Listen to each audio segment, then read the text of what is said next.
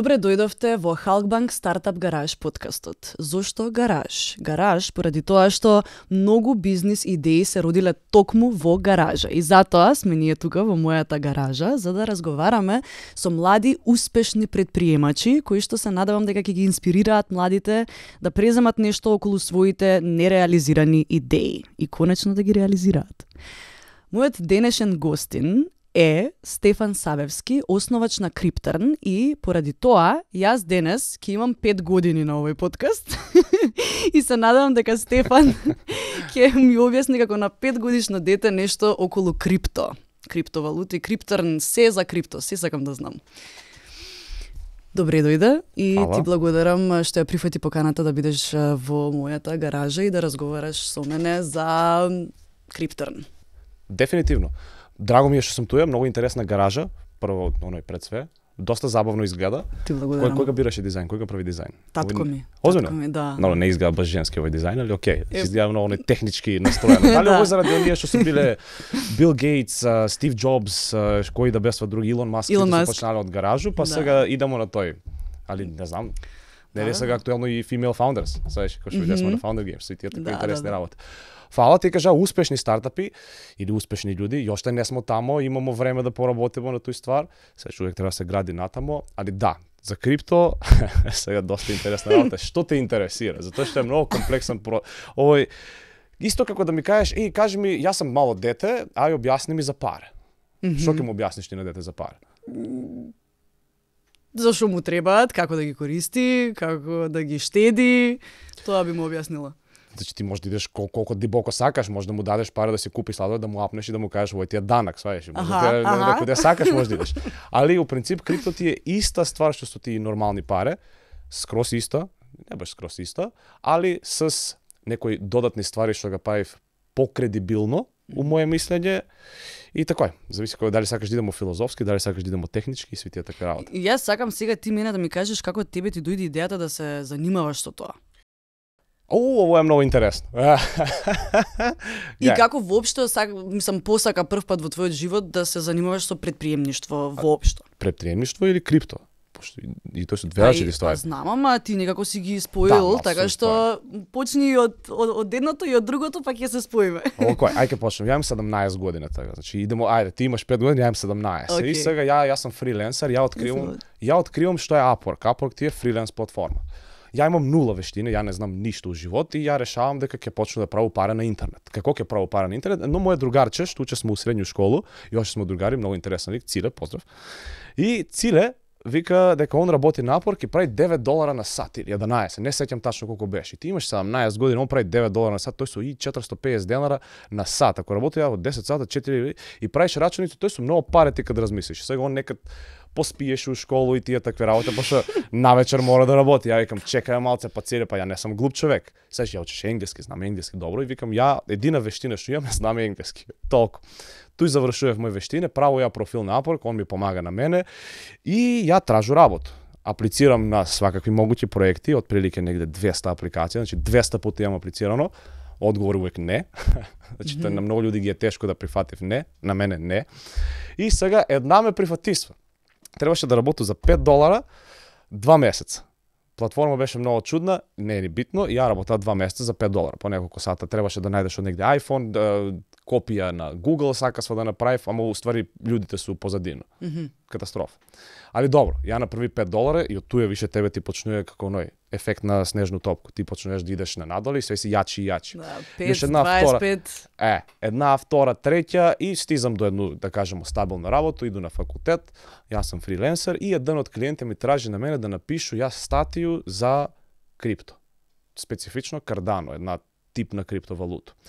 И јас сега правам математику. Гледам, поента беше, статија е, price prediction, наговестување на цену на тој криптовалута од 2025 година. Требаше да биде 35 долара. Тековна цена на тој криптовалута, овој беше негде 2019 е а, 15 цент. Ја правам математику. Чекај малце. Ја ако ставам 1000 евра, ја ќе имам многу пари. И туја веќе почнував интересни работи. Јас сакам да купу крипто. Свежо вратено од Америку, значи имам кеш на располагање, work and travel, од, од све тој супер. И сакам да ставу пари, нормално, класика. Е, сега ја не знам како, како да купу крипто, што е работа. И сега, док ја се труду да открiju како да се купи крипто, почну да откривам и како функционира, што се све дешава. Едно по друго, едно по друго, Кардано си расна од 15 цента на 30, 45, 6 цента, стигна до долар. Док ја да открiju како да го купу. Okay. Во колкав временски рок беше тоа? Па нега да ти кажам право, два месеца максимум да ми е текнало. Тешко е, знаеш, ајде ти најди како сега е лесно, тага не беше лесно. Или па јас сам бија глуп, едно од тие двете, сви се могуќи. Млад си бил. па не беше. Помлад од денес. Тачно. И сега добро, ја откривам како да купу крипто. Имаше YouTube канал тага на времето и мене ми искачав некој видео. Сакаше све да знам. Тој ти оној има у крипто се вика еден white light момент. Као ти да си у затворено дупку и сега треба да искочиш и видиш светло каде ти се отвара на тебе.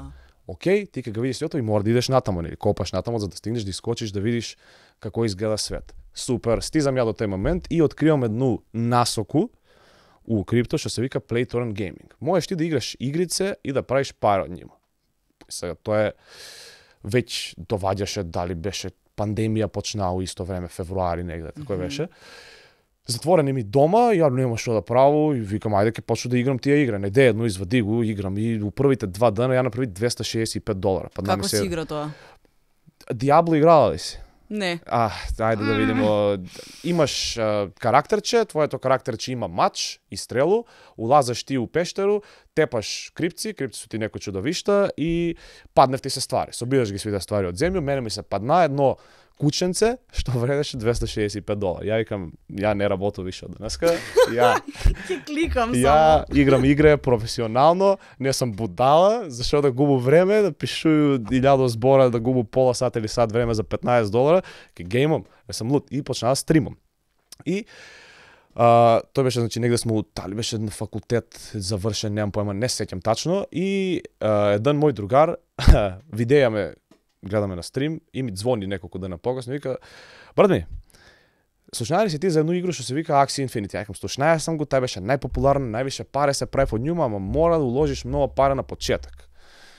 И ја викам, да, слушнаја сам го, вика, сакаш да ставиме пари заедно да купиме и да почнеме да работиме. Викам, брат, ја ви сакаја, викам, ама ја не знам ништо.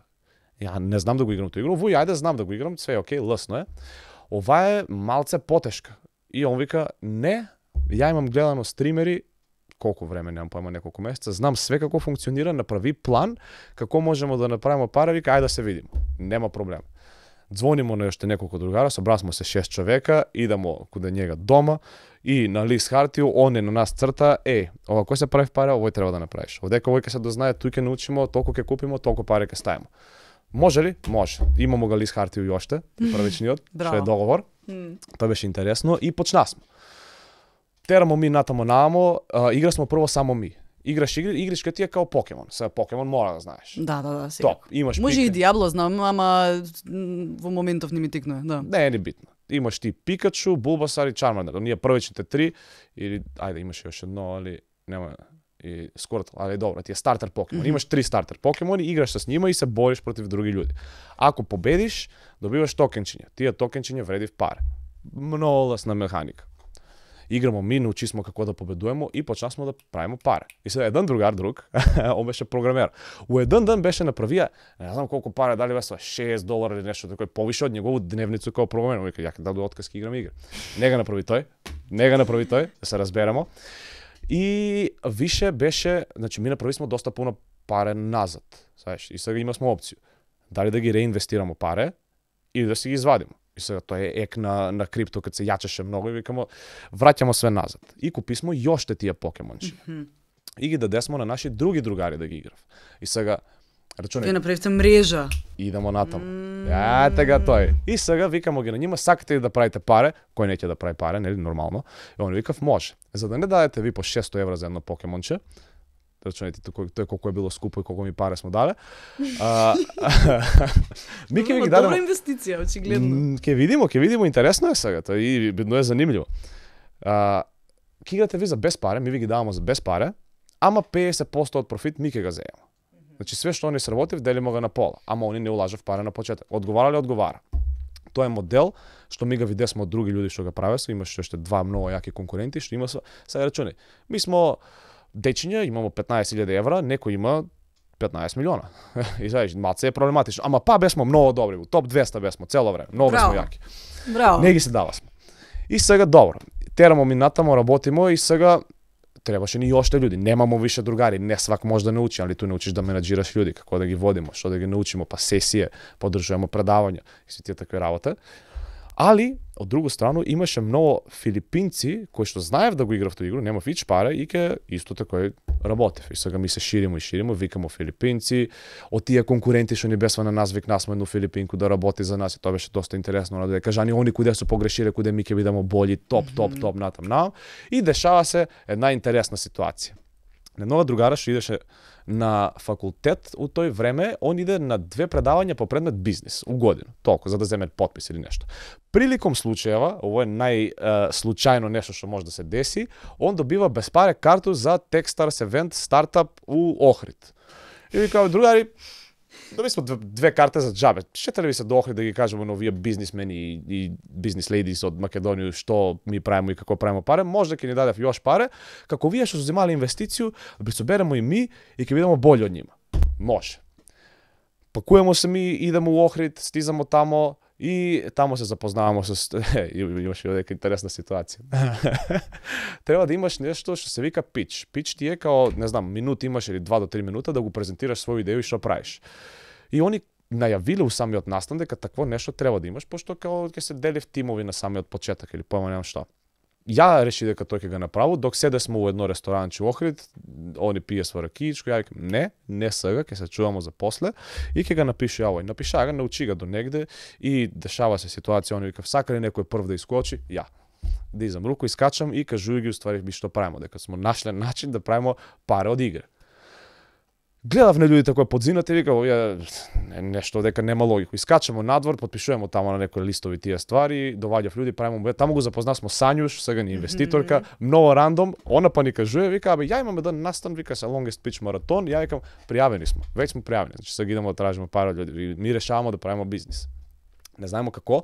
Првата наша идеја беше ќе собереме ми пари од сите луѓе што ќе ни дадев паре и со тие пари ќе купиме покемончиња и ќе ги дадеме на свите и тие пари само ќе ги реинвестираме и ќе правиме многу јаку мрежа од луѓе што ќе играв игрица за нас. Нема тоа да биде една игра, некој ќе биде пуно игра. Добро. Идемо тамо и сега собираме, правиме го тим, натамо намо, запознаваме се со уште дечки, све тоа е интересно. И идемо ми на тој како се вика треба да правиме бизнис план и Сања не вика другари, овој нема да работи така. И ми викам Сања ти не знаеш ништо за крипто. Он вика не од бизнис аспект овој нема да функционира. Управо беше. Ама ми не знаевме тоа. И сега ми викам окей, не сме го размислиле, може да некој знае нешто повише од нас, ајде ќе го размислиме малце повише. Доваѓа време за longest speech маратон. Без отприлike, не знам, две-три недели разлика максимум. Ми се спремаме со едну многу јаку презентација, малце сме го смениле бизнес модел. Таму освоивте прво место. Освои прво место. Да. Тачно. Честитки. Тоа е многу битно. Фала. Умеѓу време, послушавме го Сању, затоа што тој њојното имаше повише логику, mm -hmm. треба да слушаш фидбек, затоа што на почеток немаш поема од ништо. Океј, ми сме работале нешто тук там, ама Сања знаеше повише и знае повише затоа што има работено со повише фирми. Па и не само на почеток, и во текот на целиот е, живот треба да слушаш фидбек поради тоа што никогаш не можеш да знаеш колку знаеш точно. Тачно. Све е тој тачно, скроз си управо. Имамо ги тој искуство и втор пат.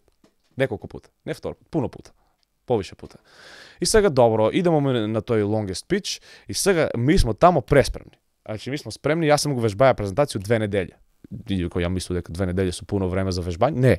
Mm -hmm. Иду ја тамо и сретнувам ги дечки од Howitzer, они има сваземено инвестиција од пола милион и ја ги викам другари да ви презентирам на вас да ми кажете фидбек. Ја фул спреман, многу радосен дека многу сме добри. Ја го завршувам моју презентација, не викав а, ништо не те разбирам што збориш, ова е катастрофа, вика, ова е ѓубре. И јас се викам како е другари ѓубре, викам што е работа. Никој апсолутно не те разбира што сакаш да ни кажеш. Па крипто тоа никој не разбира. Е, тоа е проблемот. И се викам. Ама мене добро ми објаснуваш, морам да признам дека тука сум. Добро е, ја, ја Те пратам. Многу споро идемо, многу споро Да. Ако да, треба да. поспоро, слободно кажи. Не, не, не уживај. И сега добро. Туј се дешава прелом и сега имамо две опции, така ли? Тоа е веќе 11 на вечер. Ми презентираме јутреното са бајло 11, нешто такое беше. И они викав дека е катастрофа, дека не разбирав и сега они течки му земно пол милион инвестиции, кога ти он збори тако нешто, да, управо су. Е сега што е алтернатива на тој? Нова презентација. Ја викам, окей. Од нула? Од нула. Full on. Скрос ново. Фрљаш све тој, забравljаш го, трудиш се да го За забравиш. само 12 сати. Нема ни 12, мо- мора да спиеш на вечер. Да, добро, јас И- рачунам дека вие сте сега- многу амбициозни. Пази го, е, е, интересна работа.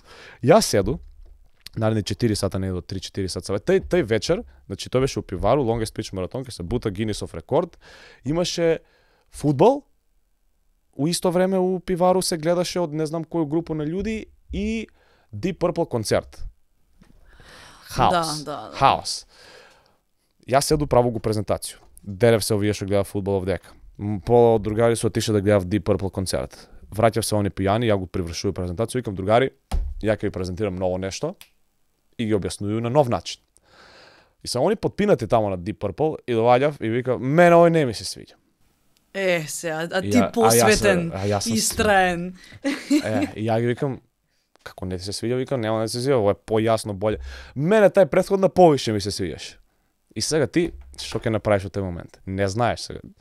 Знаеш, што е шкаклива тема. И сега викам, окей, ви сте пинале малце, као свака добра идеја, не знам дали знаеш, дали у стари или у стари, стару грчку, свака добра идеја се тестира два пати. Еден пат на пијано, еден пат на трезно. Ако два пати е добра, прифаќа се.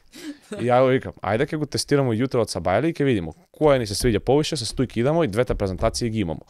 Добро. Дојде Сабајле, свати смо дека е болја тај новата презентација, логично, и идемо да презентираме.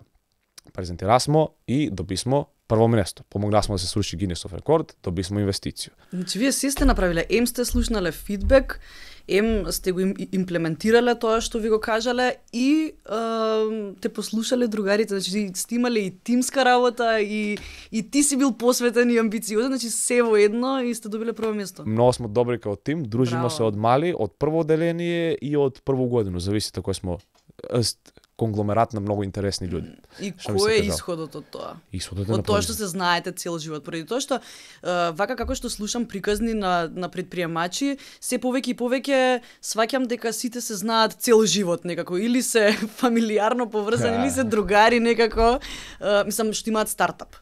Да, мислам веројатно тоа за почеток е добро поради тоа што имате доверба едни во други и се знаете цел живот, така што Знаеш кој што ќе направи, како ќе го направи, кад ќе го направи, од прилike. Значи добро е да се познавате добро. Да, затоа што ја може да му кажу на мојага другара, еј, ај ќути малце, моментално си многу глуп, иди истражи нешто, па врати се каже. Знаеш, или нешто такво. Значи треба отворена комуникација да, да, има. он може да само. ми го каже на мене. Ако е реална фирма, ќе дојде туја и ќе интервенира, ќе каже што правите. Значи ми можеме да се испцуеме, да се искарамо и утре ден тоа знаеме, доаѓаме па проблем још што останува. Како ќе го решиме проблем? Идемо со сладно главо. Поново ќе го направиме и поново ќе го направиме. И па исти мобет ќе го правиме 10 пута док не откриеме што е на некога ако некој не ти е другар, ако му кажеш такое нешто, ќе си отиде. Се не зависи, тој може да е добро, може да е лошо, немам поема, на нас не одговара. Знаеш, зашто мене нема никад срам пред инвеститори, што и да ми кажев, мои другари су ми кажале нешто полошо. Низак си, дебел си, какви сте вие чарапе. Uh, Саеши, а, откаде се избањаја? Сабајето сам се избањаја, Ама саеш. ти си отпорен на тоа, така што... Ама тоа е, тоа е многу Да. битна работа. Ти у стартап треба да имаш нешто што се вика дебела кожа, да не може да, Да. повреди тие такви работа. Mm. Знаеш, може да каже некој, абе ќорле, ај ти видиш што намо што пишува. И тие такви Да. интересни работи, ако некој ми каже не ми се свиѓа твоја идеја, па што ме гај. Да не си го земаш при срце сето тоа и да продолжиш понатаму, сега нема да плачеш дома. Не, Или нормално. добро, може може и ќе плачеш, ама Не. ама не. ќе помине. Не, никад не те гајле, као Па, па ќе кажу, кажале сум и полошо, искусиле сме полошо и едни спрема други. Као некој некој ти каже дека не му се свиѓа, па и ти на мене не ми се свиѓаш, знаеш, и тераш дале, идеш кој друго. да, да. Е, и, а, викав, игра на броеви. It's a numbers game. Некад ќе упали. Може нема прво, второ или трето нешто ти упали, ама десето ќе ти упали. Учи ствари по пут. Добро. Зимамо ми инвестиција, ќе правиме фирма. Отварамо фирму, криптомаркет се руши комплетно. Катастроф. Значи биткоин беше 64.000, пада на 15. Никој не купува крипто, а камо ли да купува покемончиња од кои што се прави паре. Играта сама се менја умеѓу време, доваѓа нова игра на, на, на сцену, значи самата тај не дава више награде, отвара се нова која ми не знаеме да го играме. Ао, викамо, брат ми, што правиме сега? Што, што може да правиш сега? Викамо, имamo две опции. Да правиме масивен пивот, дали да најдемо начин како да направиме пари од овој новото игра ќе најдемо начин да правиме пари од новото игра. Mm. Добро, сваќамо ми како функционира, тој ни треба отприлике месец до два да ти сватиш што се дешава, како се дешава, пошто никој не знае у свет што и како се дешава. Трудимо се ми, учимо, научуваме, почнемо да правиме пари поново. Сви среќни си задоволни. Е сега, како да го продадеме тој на други луѓе? Ту иде в проблеми. Ту иде в проблеми. Ту иде в проблеми, големи проблеми. Правиме ми едну верзија на самото тој, пробуваме с некои видови на маркетинг, све што знаеме практично, ништо не работи. Значи ти пробаш 10 работи, проба реклами на Facebook, така пишеме на луѓе, прашуваме ги, викаме ги на састанци, никој не не ништо, он не купува биткоин, продаја све, сега ти ќе го тераш да ти стане тебе пари у игрицу.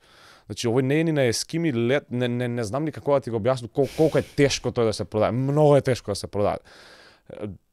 Врско немам, не, не, немам пример.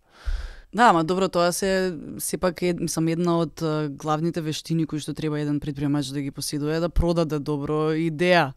Тачно. Вие како се снајдовте? Оди продаде му на човека што живе у пустињу ские. Не за песак, за снег. Знаеш И да, да, да. задње подбија на снег, на планину се сапнаја од снег и скршија ногу, изгубија пари или што е да му се е десило. Много е тешко. Можеш ли нешто да ми продадеш од овде више кога сме на оваа тема? Што сакаш да ти продадам? Нешто, нешто така, ама брзински да ми го продадеш, одма да ме купиш. Ајде. Е, ова продај ми го. Да. Купи го. Не треба клешти на тебе, нека си ги земој сега или ќе Ајде, или, кажи ми. Не, па еве ќе си отиду. Кажи ми дека ми треба. Не ти треба. Не можеш ти го продам ако не ти треба. Јас ќе си стану, ќе си појду, ќе ти ги земам. И сега ти може да ме маваш мене или такви нешто ствари. Или ќе ти кажу, еј дај од шрафе ми го тој шрафче или земи нешто, не знам, оголи го жицу или што треба да направиш. Mm -hmm. Мора да имаш потребу за да ја ти го така. поправам на тебе тој нешто. Така, Иначе... а ти во тој момент сметаше дека они немаат потреба од од игрициве? Имав од... потребу, ма не можеш да му објасниш дека има. Сваеш, и ти му кажуваш, он не те слуша а, имаш ти бариеру спрема такво нешто, ти си изгореа, ти си изгубија пари. Доаѓа сега некој нов лик, има 22-3 години и ти вика брат ми слушаме, овој ќе биде многу големо за 3 години од сега. Чек, чек, чек. За колку? За 3 години од сега. Малце потешко, знаеш. Традиционални инвеститори, општо луѓе што инвестира во недвижнини, у злато, у харти од вредност, акција, што сака нека.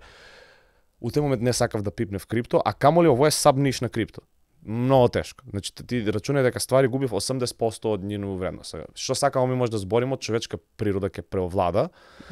А, да бесмо сви рационални човечиња, свите ќе купува сва кате црвено и кате на попуст и ќе продава сва кате на зелено или горе, така ли? Дали ти купи биткоин кога беше на 15.000 евра?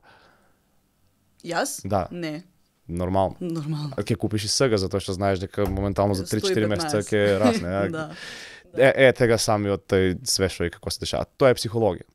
Ја мислеше дека го знам, пошто мене ми беше работа копирајтинг и да пишую, али не до толку. Саеш, сейлс е малце подруга работа. И добро, сега ми тој главимо. И Сања вика другарчиња, ајде кој мене на спринче, правиме ново нешто, мора да се снајдемо поново.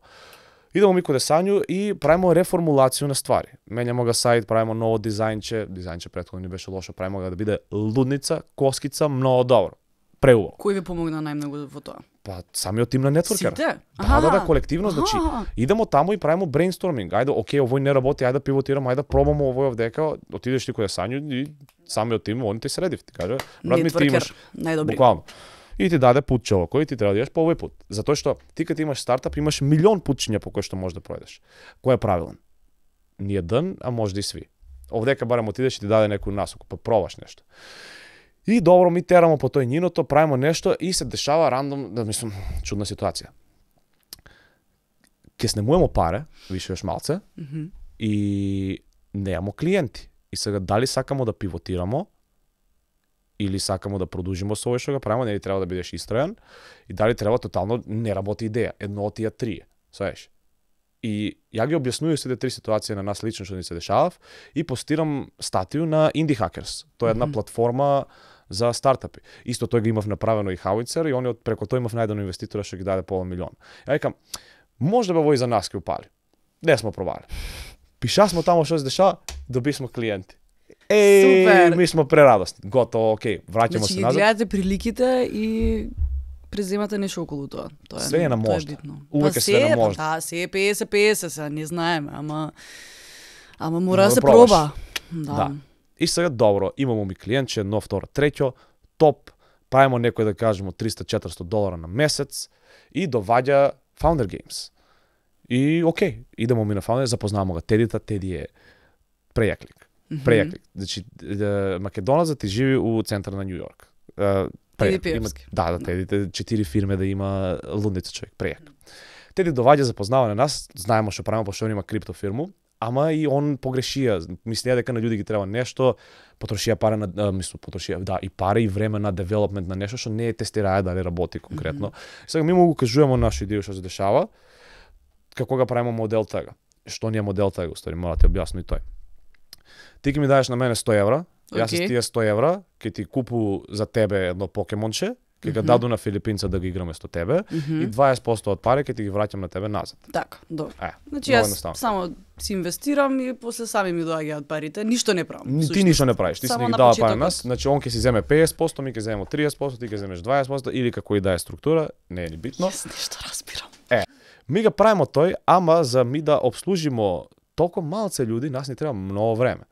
Пошто ти треба да го најдеш филипинца, да се осигураш дека он нема да те скемне, дека нема само да престане да игра, дека ќе туе свак ден, дека знае како да игра, дека ќе е добар играч, дека ќе иде на турнири, дека ќе прави повише пари, сакаме на тебе да ти вратиме пари што е можно побрзо, да ти правиш повише пари за да ни дадеш и уште пари. Нели? Класик. Значи треба да си многу многу предпазлив во Да, пронаоѓањето на Да. корисници. треба да знае не само корисници, геймери, тие што Геймери, е, да, да. да. И сега ајде пробаш од Филипини, Индија, Нигерија, свогде и сега ти не знаеш никога таму. Многу е тешко ти да го убедиш човека и ај ти прави го овој свак ден и ќе земеш на крај, не знам, 100 долара. За, за нима тој со пуно пари, ама он ќе земе 50, ќе му даде још некој ќе игра две, ќе сака исто време да прави, некој ќе му даде малце повише пари ќе отиде куде тога. Знаеш, многу е тешко да се работи с луѓе. Кажуваме му ги мисли тие проблеми на тедите и кажуваме му ги и наши идеи. Имамо едну идеја, да го сменимо концепт на идеju и да направиме нешто се вика marketplace. Као Upwork што е платформа, да кажемо ти знаеш дизајн. Јас сум човек што на мене ми треба дизајн, ја ти плату на тебе 100 евра, ти ми пратиш на мене твоју работу, ја и ти се договарамо на самото платформа. Нема медијатор. Платформата Океј, е самиот да, медијатор. Да, да. Е, да направиме платформу куде што луѓе што имав тие покемончиња, ќе се сретнев с луѓе што знаев да ги играв тие покемончиња. Мгм. Е, и све тоа ќе се одвива автоматски каде нас на платформа. Теди вика, баталете го овој претходно, не само Теди, извини. И прв пат кад бесмо на питчинг на Founder Games, самите тие судија не гледав ми пресечни, викам, правимо 400 евра, 400 долара на месец. И он не гледав и викав, тој су ич паре. Е, зашто тој тако ништо па. Ама реално е, реално су ич паре. Ми сме 6 човека. Што ќе правиме с 400 евра? Аха, да. Освен тој, идемо дале и правиме го тај пивот, Теди ни вика, окей, сега треба да направите тој, тој, тој. Направи смо го пивотче, све тој супер, топ, терамо дале и стигнасмо на второто делче, на третото делче, тоест практично финале што е од Founder Games и добисмо трето место. Ама, клучна работа беше најинтересна е што а, ми сакасмо и уште пари. и улегнасмо на нешто што се вика Ventureton од Tsunami, куде што они давав 125.000 евра ако имаш добра идеја, ако правиш проект у крипто, т.д. они ќе ти помогнат да ти најдев инвеститори. И тага бесмо и преку нима, значи ајде окей, у Founder Games а, бивамо трето место, па имамо контакти с инвеститори, запознасмо се, прави смо муабет с нима, у комуникацију смо с некој од нима, пошто некој инвестирав само у B2B, ми смо P2C и тие некои такви клучни работи. Од Tsunami исто се поврзасмо с јоште инвеститори, с кои што моментално правиме муабет, што е еден многу лик, а, не знам дали може, не е ни битно, на ESL, што е оној што ги има на Twitch, Мгм. а, Дота Кантер кој да ја гледаја, е па он е бија co-CEO на тој, значи ја, ја, значи- лик, значи го видиш он германец. Да, сериозен батка. Да, Big Boss Man, што мо- може да, Да. го кажеш. И тако е, и сега моментално стоиме на тој, пошто на нас ни треба многу пари да го направиш самото тој платформа. Marketplace се прави с многу паре upfront, мора да ги земеш унапред тие пари. И самиот концепт на наваѓање на геймери, ми собрасме отприлike 4000 човека на нашата платформа, што е многу добро за отприлike 5 недели. Браво. Тој што е еден бат као тие Сунами, ако успее таа инвестиција, ќе ни биде исто као дел од тим. Он има направено негов маркетплейс веќе што го е продаа и направија екзит. Тој те кога го продаваш фирму и земеш пуно пари, колку што имаш проценти у фирму, и он ни кажува таму, док ми го праве смо, значи, поклописвани се многу убаво тие две ствари, дека акцелератор, и ово што се дешаваше у Founder Games, и тоа што сакасмо да го направиме, и сега ќе видиме што ќе исходот тој. Ама моментално е лето, инвеститори сакав да одмарав, да си чилав, и сви тие такви работи, така да се снима ќе правиме момент, најверојатно за месец дана, така да таква е таа интересна ситуација. А кои се вашите планови понатаму? Мислам и за Криптрн и за Семо пар. Да. За да го направиме како што треба. Да, да, да. Пошто треба ти многу луѓе, сваеш, треба да направиме да биде сигурно да се дешава сви тие ствари и самите А како дојдовте до финансии за сето ова? Мислам за сето ова да тече вака, да вози. А, тоа е интересна ствар. А, Имавте ли некои потешкоти? Сигурно сум. Нормално, да, нормално. Секако во секој стартап има потешкоти. Ева гледа, тоа е интересна работа. Има смо пара од Америку, тој се покрива смо некои трошкови а, смо инвестицiju, тој имаше само еден кратак период, не знам, 3 до 4 месеца максимум да смо пуштале плата, затоа што тој мора да го направиш според тие некои нема пама сметководителски ствари у Македонија. Не не сум бюрократски човек, не знам тачно, не ме фаќа за збор, немам појма. Мораше така да, нешто да направиме, такој ни кажа дека треба да направиме, такој направи смо. Многу од младите не се бюрократски човеци. не, не сакам да бидам досаден, не ме замарат. Никој не сака се се плашат од тоа, ама всушност и не е толку страшно кога има некој да ти помогне. Мислам кога има некој да те води низ процесот. Ја би платија да некој ме води низ тоа. Да, па има сега Халкбанк имаат стартап пакети кои што всушност мислам за кои што младите можат да аплицираат со своја бизнис идеја и понатаму Халкбанк ги води низ процесот, така што мислам тоа е многу се јас предпоставам веројатно и ти се слагаш дека тоа е а, многу леснителна околност кога некој те води низ сето тоа. да би имаја шансо за такво нешто би го направија тој, ама не е имало така. Затоа па, да, пази го добро, ситуација. ова е нова од пред неколку месеци, да. Е, Е, пази го си тоа. Ја иду, е, ово е, ово е глупост, ово е чиста глупост. Сега не знам дали ово е до мене или може да е до мене. Пази се. Иду ја у банку и викам јас сакам да отвору фирму. Добро. Стај пара на сметка на еве ти сметка на фирму, стај пара како викам да ставу пари, еве ти пари, викам на 1300 денар.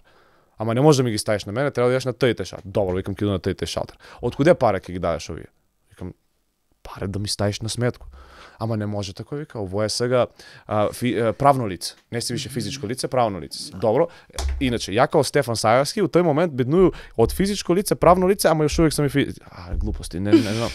Па, Гледај, и сега, ја викам, добро викам, еве ти паре, може да ги ставам на сметка, Може, ама тој ќе се рачуна како позајмица. Добро викам, направи го позајмица. Добро вика, иди кој е сметководители, земи уплатницу. Добро викам, иду кој е тие, викам, треба да ми подпуните уплатницу. Они вика, па у банко зашо не ти подпунисува? А не знам, кажа, аз сам и да дојду каде вас. Па не, они може да ти го подпунив.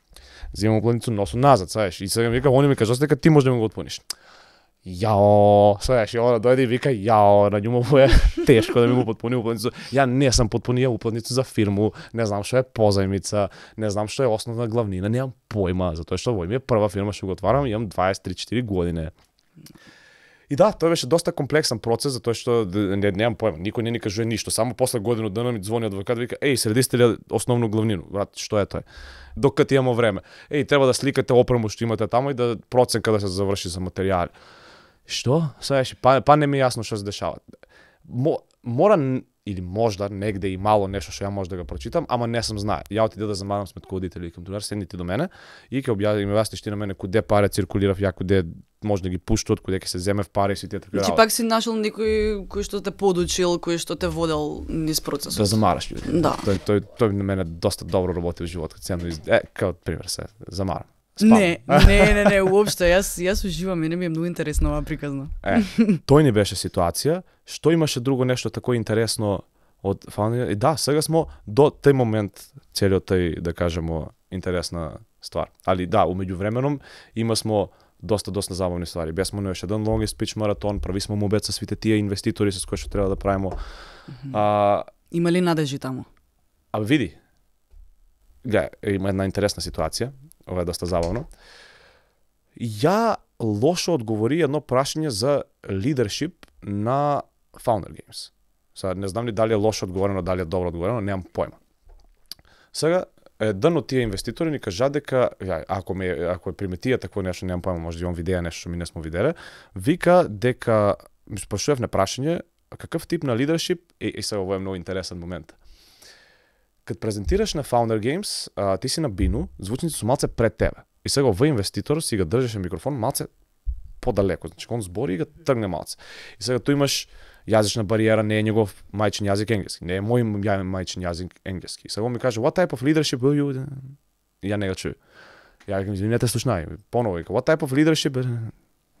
Сега ја немам помня што треба да одговорам. Ај викам, mm -hmm. Ми смо ти ликови... На предпоставка. Да. Знаеш. ја не дочуju. Е, е, баш. Тоа е кумановската шала. И викам, да, да, да. брат ми, ми е, лидершип едино нешто што знам, ја имам прочитано едну книгу за лидершип. Случајно ми текнува, ле, тоа е многу интересен момент. Многу сум поносен на тој како смо наступирани на Founder Games, прејаки беа. Прејаки. еден од најболи дънови у живот. Затоа што е пази една интересна работа, ми е многу интересно да кажу, нели имаш оној микрофонче мало што ти да до уста, uh -huh, и ти дишеш, се слуша. Кога мене не се слушаше. Толку го беше невежбаја презентација. Многу беше вежбаја презентација. Браво. Теди. да толку ми беше навежбана презентацијата што не се слушаше кога дише. Не, реак. Теди дојде од Нью Йорк и ме слуша таму еден пат кога презентирам, кажа ми добро нешто да смену. 10 сата сам го вежбаја тој презентација, целиот ден. Многу многу сам радосен, значи многу беше све беше навежбано, свака запирка, све живот топ, презентација Затоа те топ. прашале тебе за лидершип. Најверојатно. Изгледа. И сега треба да го одговори ја тоа прашање, ја викам едини начин на лидершип што ја го знам се вика Extreme Ownership, тоа иначе книга од еден батка што се вика Джоко Вилинг, он е бија Navy SEAL, ама не ја каже тој, само викам Extreme Ownership, значи ми ќе преземеме одговорност како тим за све што појде и добро и лошо во фирма, значи на нас е одговорност, ми мора да комуницираме со тие луѓе и ќе водиме преку пример, lead by example. Значи ми ќе ги покажуваме на сите тие луѓе што ќе бидат натаму учесници у самото фирму како треба да функционира добро. И после тој, тој батка, што ми го постои прашање, вика, брат ми, тој не ти беше добар одговор. Бе, јас сум туе шокиран. Јас сум туе тотално шокиран. Те доаѓа вика што е работа како топ одговори као и тој прашање било поставља се на некои фирме што су серија А кај треба да зимав 500 милиона, кога треба да запослиш 150 човека одеден пут Ја викам што кажа погрешно, викам ја нега ни свати прашање, нега ни слушна прашање, али оке, иду ја каде njega, прашува го. Викам брат ми, Извинете, прашам, што е поента со тој прашање? И он ми вика на мене, замисли дека имаш слона, а, вржено го с јужа околу врат и треба да го преместиш да те прати тебе. Како ќе го направиш тој? Се, јас сум тој веќе на две пива. и немам појма. И викам, извини брат ми, ја не знам ништо за слонови. Викам, може да ми кажеш нешто за кучиња, па ќе ти одговору, али за слонови ништо не знам. Ова е малце поголемо од куќа. Да. И он вика, да бе, вика, добро, вика, замисли имаш ти слона на јуше и треба да го пренесеш од тачка до тачка Б. Како ќе направиш тоа? Вика, ќе го повлечеш. Пак ќе ти кажу, ја не знам ништо за слонови. И он вика, а мора да знаеш слон како се осеќа. Јас сум још позбунет, немам појма што ми каже човек. И ја викам, па не ми е јасно. И он вика, вика, ти си рационален човек, ти си од техничко позадино, вика ти водиш, вика, многу рационално. Ти треба да водиш с срце, а не с мозок. И јас сум па тоа збунет, затоа што немам појма. Не знам, може да ова е тачно, може да не е тачно. Не знам, треба да продискутирам со остали мои другарчиња да, да кажат дали е тако или не. Неверојатно е. Значи, имаш KPI. Стартапи, инвеститор што гледа од тебе и што сака од тебе су ти бројки. Ти треба да најдеш начин како да ги оправдаш тие бројки. И сега добро, ја му викам, окей, друга, замараја са типо. Чисто да ми не ми беше јасно, немам појма што се дешава врско немам. И имаше неколку интересни ситуации, тој некои интересни му обети што можда на некој ќе му се најде во живот. А, како би требале ми како тим да запослуваме луѓе? И он ме прашува тоа, ја па не знам, никога не сме запослили никога. Знаеш, откаде ја знам ќе прочитамо нешто, ќе дознаеме. Свако од нас би требало да седне с новога човека што сакамо да го запостимо и да направиме обед и да тражиш red flags да видиш дали не одговара на свите. Ако пројде интервју со свите, тога треба да го запослиш. Ако не пројде со свите, не треба да го запослиш. Што окей, има логику.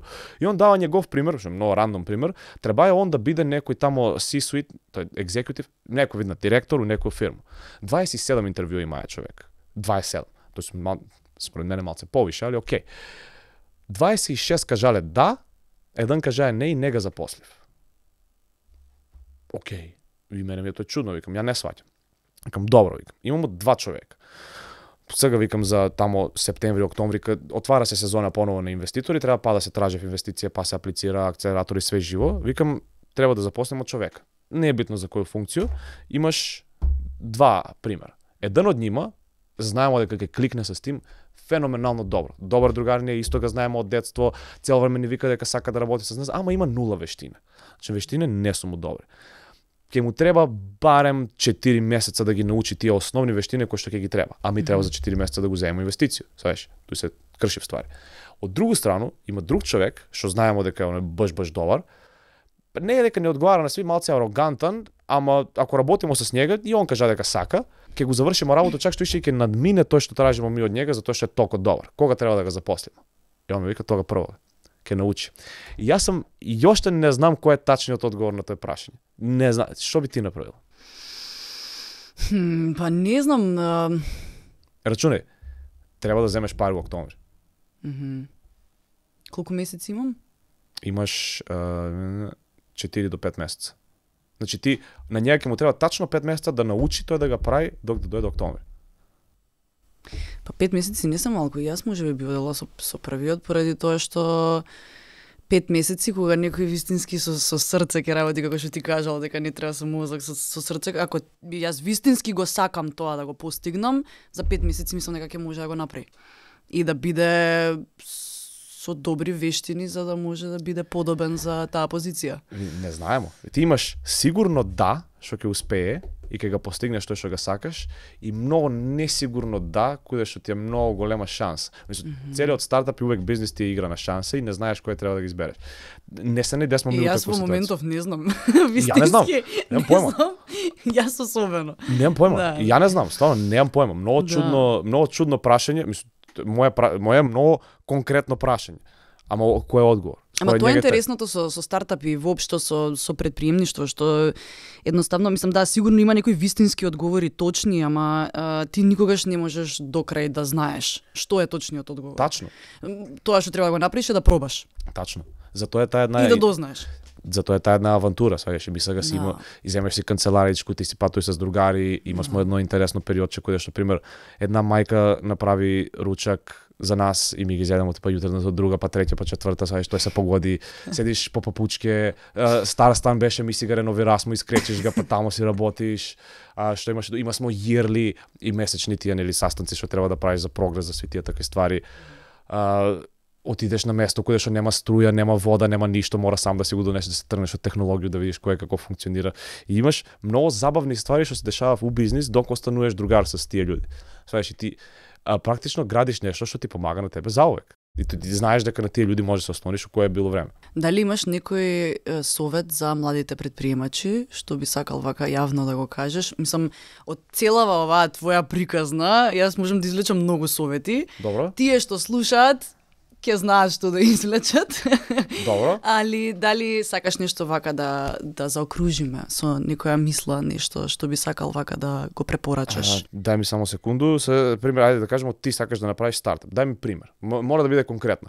Има многу ние што со ние лайф коучинг, ја ви кажа катастрофа луѓе што ќе ти кажат на тебе нешто генеричко, како пример веруј у себе или тие такви, mm -hmm. тоа не работи, тоа е mm -hmm. катастрофа. Мора ти да искусиш нешто за да знаеш нешто. Дај ми конкретен пример, ќе ти кажам конкретен. Е, па ето го мислам дека само што го кажам, мора да искусиш нешто за да знаеш нешто. Тачно, ама гледај, има разлика, пошто ти ако имаш идеја, имаш две ствари што можеш да направиш. Главно се дели на две делчиња. Едно нешто се вика bootstrapping, кое што сам ќе собереш пари и ќе пробаш, второто е што ќе земеш туѓи пари и ќе пробаш дај ми пример ти што сакаш да направиш, ја ќе ти кажам што треба да направиш. Некој идеја што сакаш ти некој стартап да направиш. Сакам а, да правам подкаст со таксисти. С таксисти подкаст. Да. Као не да се гости некои познати личности или нешто такво, него да се таксисти.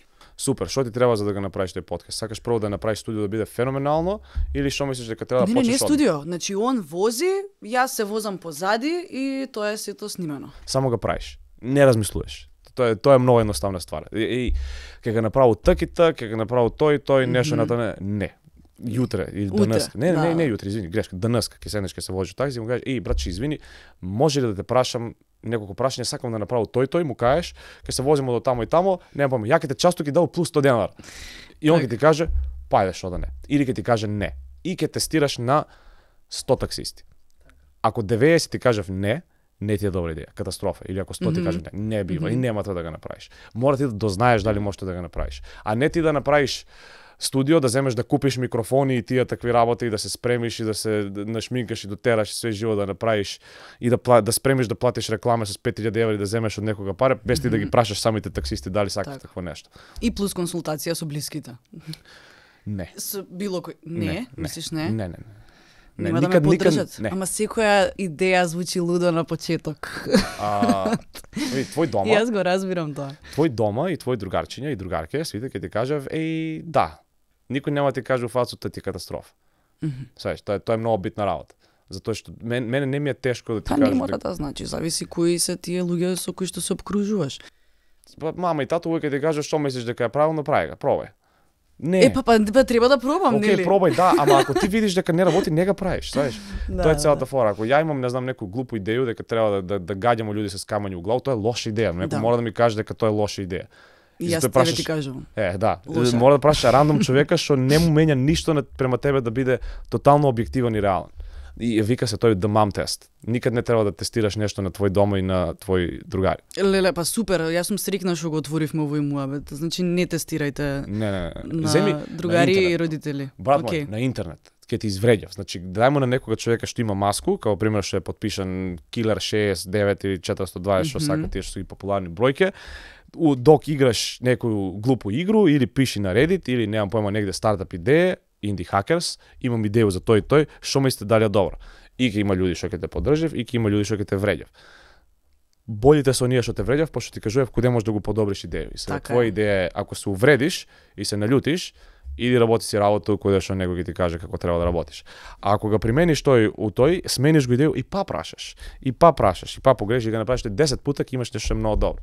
Ти благодарам. Ти Свако благодарам многу. Овој совет се надам дека ќе го искористам и се надам дека а, младите предприемачи исто така те слуша пажливо и дека ќе искористат некои од овие совети. Фала Ти благодарам многу што беше гостин. Um, се гледаме ние во некоја следна епизода. Uh, ви благодарам уште еднаш што не следевте и се надевам дека ќе ги реализирате што е можно поскоро вашите идеи. Поздрав!